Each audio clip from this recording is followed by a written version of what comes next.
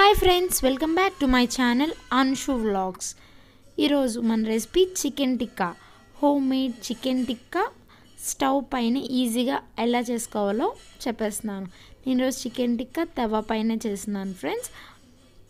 చూడండి నేను ఎలా చేస్తున్నాను. ఓవెన్లోనే కాదు మనం తవ పైన కూడా చాలా ఈజీగా చాలా టేస్టీగా చేసుకోవచ్చు.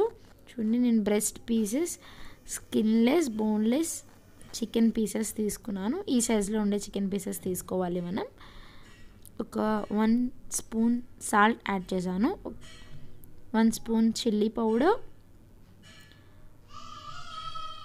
One table spoon Kashmiri chilli powder add చేసుకున్నాను. ఇలా ఇది యాడ్ చేయడం వల్ల మనకి చిక్ టిక్కా చాలా కలర్ఫుల్గా బాగా వస్తుంది. One table spoon jeera powder half table spoon chaat masala. ఈ మసాలాస్ అన్నీ యాడ్ చేస్తే మంచి ఫ్లేవర్ వస్తుంది tikka. Half table spoon garam masala powder half table spoon coriander powder వేసుకున్నా. తర్వాత ఒక one table spoon ginger garlic paste వేస్తున్నాము తర్వాత chicken tikka masala one table spoon వేసుకున్నాను. వన్ కప్ థిక్ కర్డ్ వేసుకోవాలి హంగ్ కర్డ్. థిక్ కర్డ్ వేసాను ఒక one cup వరకు. తర్వాత two table spoon olive oil వేసుకున్నాను.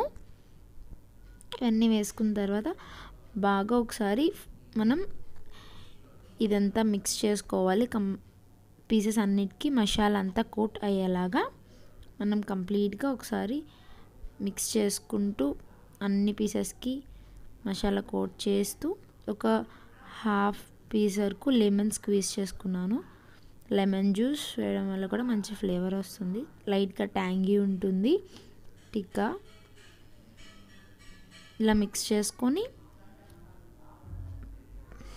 మసాలా అంత పీసెస్కి కోట్ చేసుకున్న తర్వాత మనం ఇది ఫ్రీజర్లో ఒక టూ అవర్స్ మనం రిఫ్రిజిరేట్ చేసుకోవాలి. ఇలా క్యాప్ పెట్టి నేను ఫ్రీజర్లో టూ అవర్స్ పెట్టుకున్నాను. చూడండి టూ అవర్స్ తర్వాత మనకి ఎలా కనిపిస్తుందో ఫ్రిడ్జ్లోంచి తీసిన తర్వాత పీసెస్ అన్నిటికీ మసాలా బాగా కోట్ అయింది. బాగా మసాలా అంతా స్టిక్ అయ్యి చాలా పీస్ అంతా చాలా థిక్గా కనిపిస్తున్నాయి బాగా వచ్చింది. మనం పీసెస్ని కబాబ్ స్టిక్కి పెట్టుకుంటున్నాం. ఇలా గ్యాప్ ఇస్తూ దూరం దూరంగా ఒక ఫోర్ టు ఫైవ్ పెట్టుకోవచ్చు. తవ పైన చేస్తున్నాం కాబట్టి ఒక త్రీ టు ఫోర్ అలానే పడతాయి. ఎక్కువ పెడితే మళ్ళీ అవి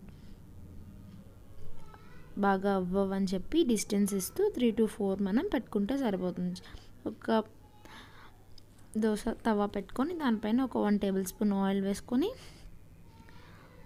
ఈ కబాబ్ స్టిక్ని మనం స్టవ్ పైన ఇలా ఫ్లేమ్ మీడియంలో పెట్టుకొని స్లోలో కబాబ్ అంతా వేసేసిన తర్వాత మనం లోలో పెట్టుకొని టూ సైడ్స్ ఇంచుమించు eight to ten nine minutes ten minutes వరకు అవి బాగా కబాబ్స్ బాగా ఫ్రై అయ్యేలాగా చూసుకోవాలి. ఇంకా ఈ మ్యారినేట్ చేసిన పేస్ట్ ఉంటుంది కదా అది మనం గ్యాప్ గ్యాప్లో లైట్గా మనం స్టిక్ చేసుకు పట్టు దానికి రబ్ చేయాలి. కబాబ్కి మనం ఆ పేస్ట్ని కోట్ చేసుకుంటూ ఉండాలి. చూడండి టూ సైడ్స్ ఇలా బాగా కా కబాబ్ అంతా ఫ్రై అయిన తర్వాత నేను చార్కోల్ వేసుకొని ఇదేం టిప్ అండ్ ట్రిక్ అనమాట ఈ కబాబ్లో మనకి స్మోకీ ఫ్లేవర్ రావాలంటే చార్కోల్ యూస్ చేసి మనం కబాబ్ని ఫైనల్గా ప్రిపేర్ చేసేసుకుంటున్నాం. చూడండి ఇలా కబాబ్స్ అన్ని ఒక ప్లేట్లోకి తీసుకొని ఒక స్మాల్ బౌల్లో ఒక పీస్ ఆఫ్ చార్కోల్ తీసుకోవాలి.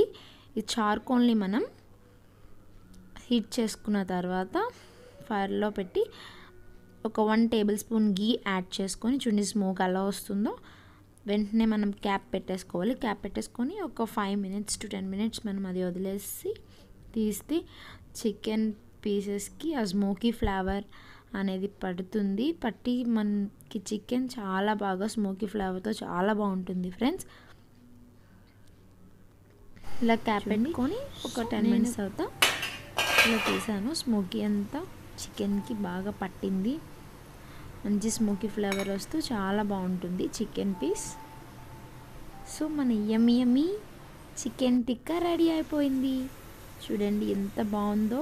హోటల్ స్టైల్ రెస్టారెంట్ స్టైల్ మనకి చికెన్ టిక్కా సేమ్ అలానే ఉంది.